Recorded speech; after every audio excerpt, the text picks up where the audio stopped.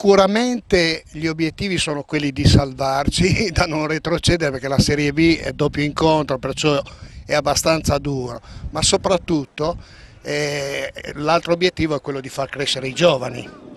Ad un certo livello bisogna che inizino a giocare perché se no si rimane un po' indietro. E perciò l'obiettivo è quello, due obiettivi, di salvarci e di far crescere i giovani. Noi abbiamo, siamo arrivati nel passato anche a fare la Serie A, eh, però c'era sicuramente più, eh, più giocatori, più, anche importanti. Quest'anno abbiamo dovuto recuperare anche qualche persona un po' più avanti negli anni per poter formare una squadra possibile essendoci dopo incontri, capisci?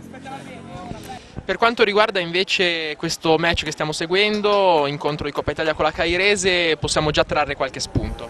Lo spunto è che siamo in vantaggio, mi sembra 4 a 1, e però siamo appena al terzo inning, fino al nono cioè, bisognerà vedere. l'obiettivo è quello di, se si vince, eh, incontreremo una squadra che è uno spareggio tra il Piemonte e la Lombardia e andiamo avanti così, anche perché è tutta esperienza che fanno prima dell'inizio del campionato della Serie B. Queste sono partite anche un pochettino di, diciamo, di allenamento, eh, se vogliamo, anche se importanti.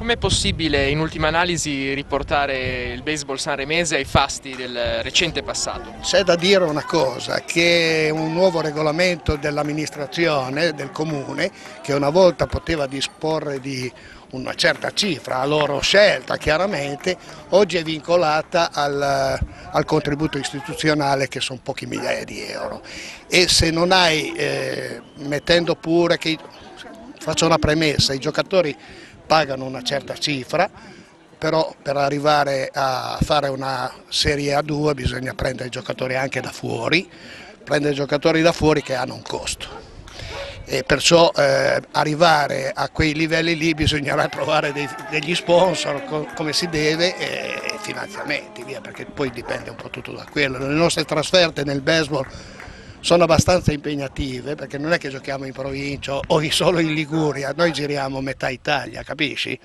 E allora insomma contributi ci vogliono.